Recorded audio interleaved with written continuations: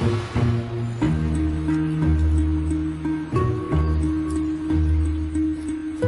you be my friend? I would be your friend. I'll be your dad, and my wife can be your mama.